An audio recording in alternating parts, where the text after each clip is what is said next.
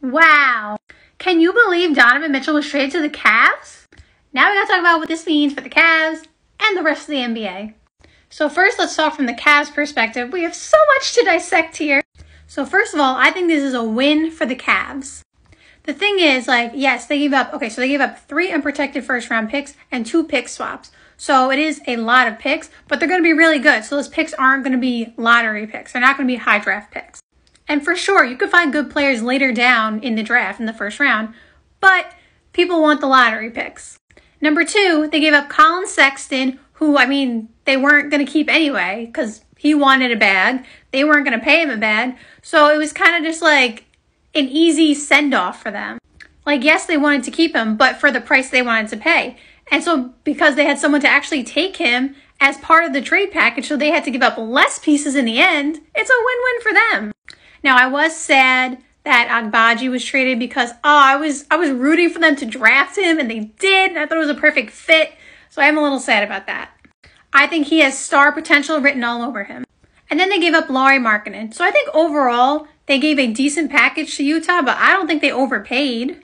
I already thought the Cavs were going to win 50 games. I mean, they were rolling last year before Jarrett Allen got hurt. So now it only solidifies that even more so.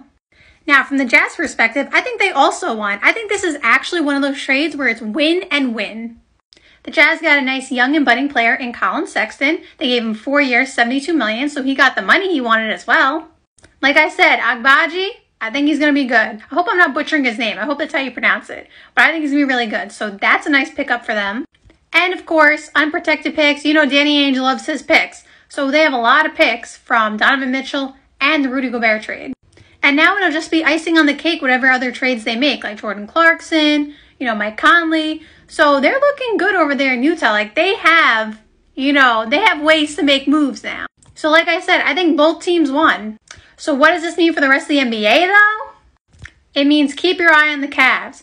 Cause I was I was keeping an eye on them last year.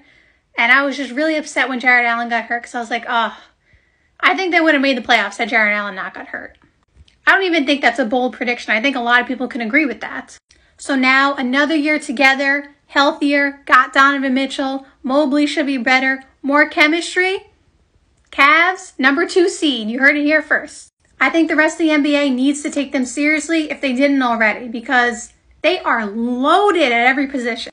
They may not have the biggest superstar, like they don't have, you know, Steph Curry, LeBron on their team, but at every position, they have players who can get it done and are talented, can score, defend. Like they have players at every position who could do things.